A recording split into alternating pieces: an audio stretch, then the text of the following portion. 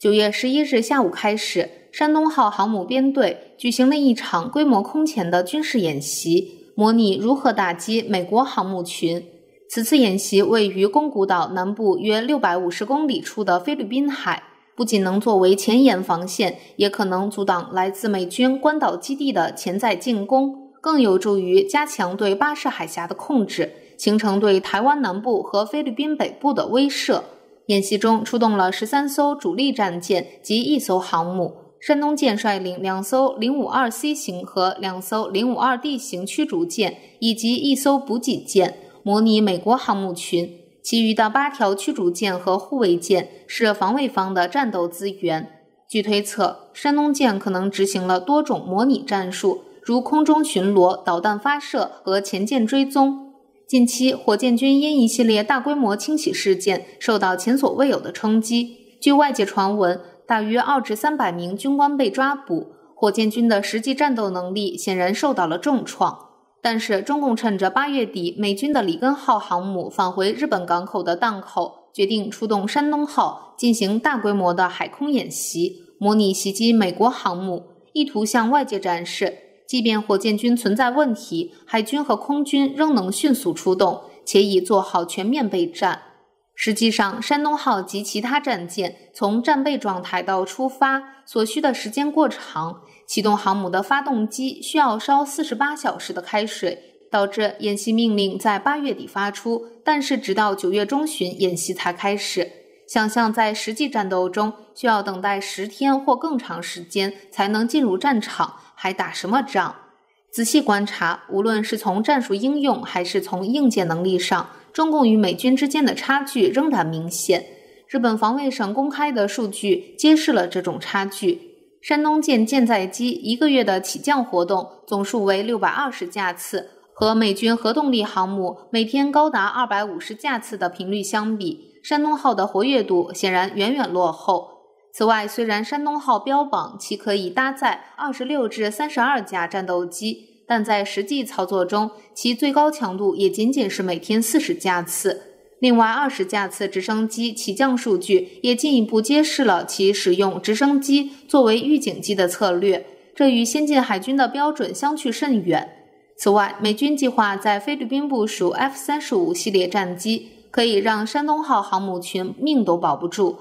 台湾海峡的 F 十六 V 对于歼十和歼十六有着明显的优势，而在台湾北部，从日本加手纳基地出动的 F 二十二和 F 三十五将使歼二十几乎失去还手之力。如果这种情况真的发生，中共空军很可能会在短时间内三个方向皆败。然而，中国国内舆论对此并不过分担忧，许多观点认为，中国有的是反舰导弹。零五二零 D 型驱逐舰和零五五型驱逐舰都能搭载鹰击十八，陆地也部署了东风二十一 D 和东风二十六导弹，轰六 K 还能携带鹰击十二，零九三 B 型潜舰上也有鹰击十八 B。只要部署足够数量的这些导弹，可以轻松摧毁美国航母，让美国失去世界霸主的地位。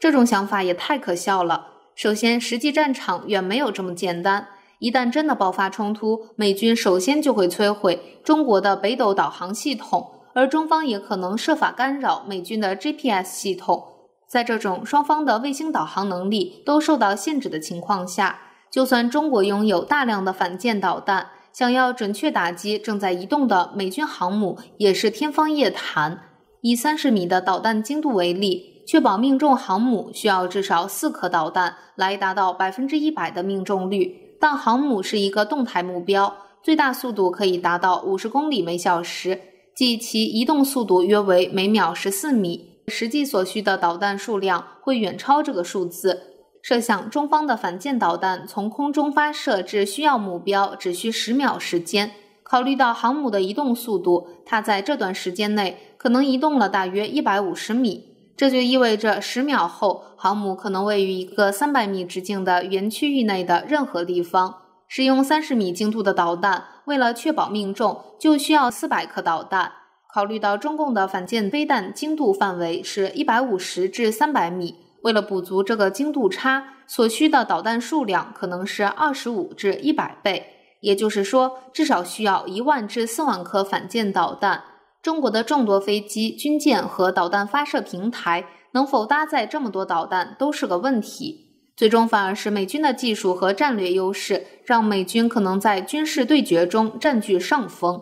中国发展大量的反舰导弹，其策略核心并非针对美国。而是在对台湾进行渡海作战中，在必要情况下对美军航母发动大规模攻击，确保共军的海上力量可以安全抵达台湾。在这种情况下，美军完全可以不出动航母，采用其他办法，就能达到不让共军越过台湾海峡的军事目标。一个例子是美国空军研究实验室与威特希德公司合作开发的驯龙导弹系统。这是一个模块化的托盘，能够装载四枚成本相对低廉的 AGM-158 导弹，通过常规运输机投放到空中，然后导弹自行发射，实现饱和攻击。共军发射一枚反舰导弹，造价大约为三千万至四千万美元。按照这种成本，美军可以丢出去好几沓的托盘，而且射程高达九百二十五公里，还是隐身的。假设在台海爆发冲突，美军有能力部署大量的运输机，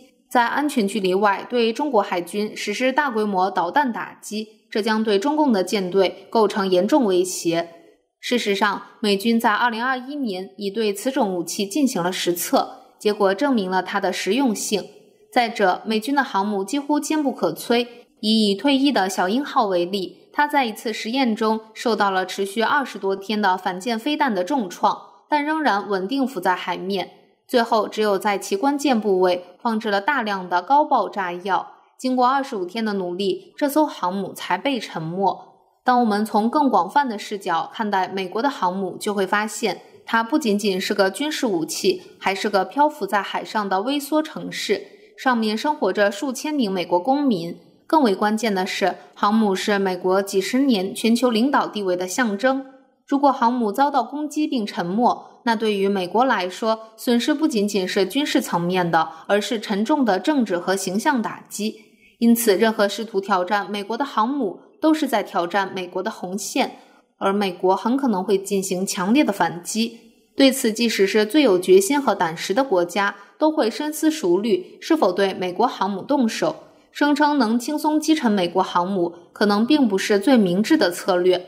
设想一个情景：假如美国航母遭到攻击并沉没，局势随之升级。美国有能力对中国的关键海上贸易路线进行封锁。虽然中国在某些资源，如煤炭和稀土上具备优势，但对于许多其他关键资源，它仍然依赖于全球市场。因此，贸易封锁会对中国经济造成巨大的冲击。而美国的某些激进派可能正期待中国采取这样的行动。从而为美国提供扩大战争、采取更有决断力的行动的理由，甚至一些平时因为公众舆论而不易采取的策略都能搬上台面。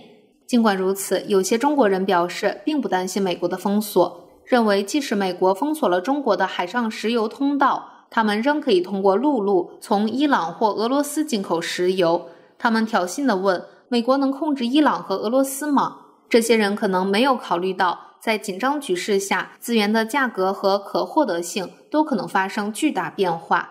在电影《无人区》中就有这样的场景：主角驱车经过一段荒凉的沙漠公路，前后的加油站都是相距数百公里。进入任何一个加油站加油，都要被迫接受捆绑销售的油价，得先去看歌舞表演，票价一千二，再加油三百，不看表演就不能加油。如果在现实中，伊朗和俄罗斯实施了类似捆绑销售的策略，一桶油的标价可能只有一百美金，但需要额外支付一万美金的其他费用。那么，这样的额外成本最终将由谁承担？对于有大把大把钱的中国权贵，这也许不是问题；但对于普通民众，他们可能要为此支付高昂的代价。长远看来，国家的领导者必须思考更加深远的国家利益。对于中国选择军事手段解决台湾问题，意味着可能与美国及其盟友发生军事冲突，而中国可能明确依赖的盟友数量实际上相对有限。